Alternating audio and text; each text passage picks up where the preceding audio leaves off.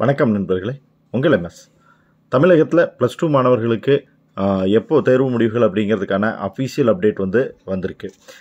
Plus two மாணவர்கள் கடந்த March மூணாம் தேதி இந்த எக்ஸாம் எழுத ஆரம்பித்து ஏப்ரல் மூணு வரைக்கும் இந்த எக்ஸாம் எழுதிக்கிட்டு இருந்தாங்க. எழுதி முடிச்சதுக்கப்புறம் ஏப்ரல் பத்தாம் தேதி இந்த எக்ஸாம் பேப்பர் வேல்யூஷன் ஸ்டார்ட் ஆகி மா ஏப்ரல் இருபத்தொன்னாம் தேதியெல்லாம் பேப்பர் வேல்யூஷன் முடிஞ்சிருச்சு. எல்லா மார்க்கையும் ஆன்லைன் மூலிமா என்ட்ரி கொடுத்து ரிசல்ட்ஸ் ரெடியாக இருக்குது வெளியிடுறதுக்கு. மே அஞ்சாந்தேதி ரிசல்ட்ஸை வெளியிடலாம் அப்படின்னு சொல்லி முடிவெடுத்திருந்தாங்க. பட் நீட் எக்ஸாம் வந்து மே ஏழாம் தேதி நடைபெறதுனால அந்த எக்ஸாம் எழுதக்கூடிய மாணவர்கள் மனநிலை பாதிக்கப்படலாம் தேர்வு முடிவுகள்னால அவங்களுடைய தேர்வு பாதிக்கப்படும் அப்படிங்கிற காரணத்தை முன்னிட்டு தேர்வு முடிவுகள் வந்து தள்ளி வைக்கப்பட்டிருக்கு.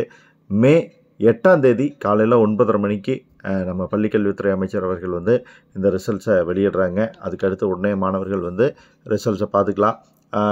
மாணவர்கள் வந்து உங்களோட மொபைல் நம்பர் கொடுத்துருக்கீங்க. அதுக்கு எஸ்எம்எஸ் மூலிமா உடனடியாக உங்களுக்கு ரிசல்ட்ஸ் வந்துடும் ஸோ ரிசல்ட்ஸ் பார்க்க நீங்கள் எங்கேயுமே போக வேண்டியிருக்காது அப்படியும் உங்களால் பார்க்க முடியல மொபைல் இல்லை அப்படின்னா நீங்கள் வந்து ஆன்லைன் மூலிமா அதுக்கான வெப்சைட் கொடுத்துருக்காங்க. அந்த வெப்சைட்டில் போய் உங்களோட ரெஜிஸ்ட்ரேஷன் நம்பரையும் டேட்டா பற்றியும் கொடுத்தீங்கன்னா உங்களோட மார்க் ஷீட்டை வந்து நீங்கள் டவுன்லோட் பண்ணிக்க முடியும்.